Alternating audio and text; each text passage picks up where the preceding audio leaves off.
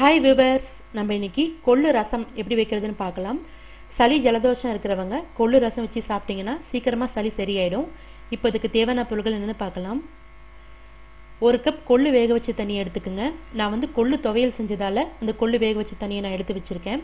உங்ககிட்ட இந்த தண்ணி இல்லைன்னா ரெண்டு டேபிள் ஸ்பூன் கொள்ளை வடச்சட்டியை ட்ரையாக வறுத்து அதை வேக வச்சு அந்த தண்ணியை எடுத்து வச்சுக்கோங்க. ஒரு தக்காளி சின்ன கோலி குண்டளவு புளி தண்ணியில் ஊற போட்டு வச்சுக்கோங்க. ஆஃப் டீஸ்பூன் ரசப்பொடி இல்லைன்னா சாம்பார் பொடி. மூணு பல் பூண்டு ஒரு வரமிளகா. ஒரு டீஸ்பூன் சீரகம். ஒரு டீஸ்பூன் மிளகு. கருவேப்பிலை. கொஞ்சோண்டு கொத்தமல்லி இலை. ஆஃப் டீஸ்பூன் மஞ்சள் தூள். கால் டீஸ்பூன் பெருங்காயத்தூள். ஆஃப் டீஸ்பூன் கடுகுளுத்தம்பருப்பு ஆஃப் டீஸ்பூன் வெந்தயம். ஆஃப் டீஸ்பூன் சர்க்கரை. வடச்சட்டியில் அந்த கொள்ளு தண்ணியை ஊற்றிக்குங்க அது கூடவே தக்காளியும் போட்டு ஒரு மூணு நிமிஷம் இதை வந்து வேக வைங்க.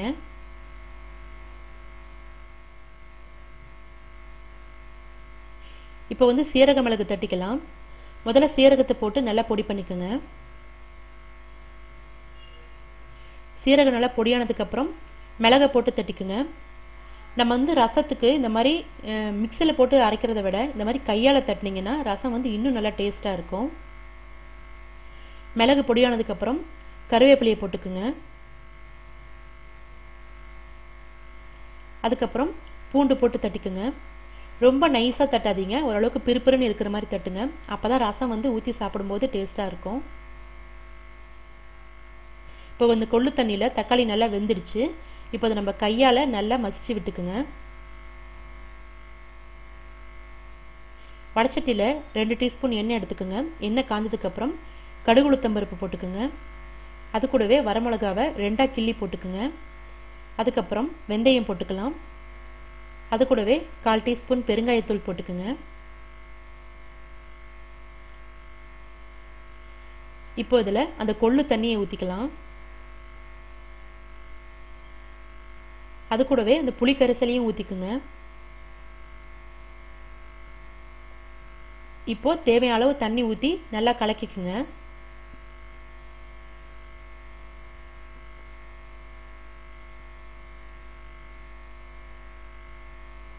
இப்போ வந்து நம்ம இந்த சீரக மிளகு தட்டி வச்சுருக்கோம் இல்லையா? அதை போட்டுக்கலாம். அது கூடவே ஹாஃப் டீஸ்பூன் மஞ்சள் தூள் போட்டுக்கோங்க. அது கூடவே ஆஃப் டீஸ்பூன் சர்க்கரை போட்டுக்குங்க. சர்க்கரை போட்டிங்கன்னா ரசம் வந்து நல்லா டேஸ்ட்டாக இருக்கும். அது கூடவே ஆஃப் டீஸ்பூன் சாம்பார் பொடி. அதுக்கப்புறம் தேவையான உப்பு போட்டுக்குங்க. உப்பு போட்டு நல்லா மிக்ஸ் பண்ணிக்கோங்க. ரசத்தை வந்து ரொம்ப நேரம் கொதிக்க வைக்கக்கூடாது. ரொம்ப நேரம் கொதிக்க வச்சிங்கன்னா ரசம் வந்து ரொம்ப புளிப்பு டேஸ்ட் வந்துடும் அதனால லைட்டாக நுரக்கட்டின உடனே நம்ம ரசத்தை வந்து ஆஃப் பண்ணிடணும். இப்போ பாருங்கள் லைட்டாக நுரக்கட்டுது. இப்போ வந்து நம்ம அடுப்பு ஆஃப் பண்ணிடலாம்.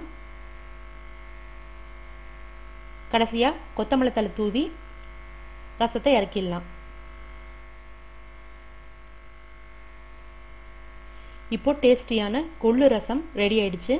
நீங்களும் உங்கள் வீட்டில் செஞ்சு பாருங்கள் உங்கள் கமெண்ட்ஸ் ஃபீட்பேக்ஸை சொல்லுங்கள் உங்களுக்கு பிடிச்சிருந்தா உங்கள் ஃப்ரெண்ட்ஸ்க்கும் இந்த வீடியோவை ஷேர் பண்ணுங்கள் எங்கள் சேனலை சப்ஸ்கிரைப் பண்ணுங்கள் பாய்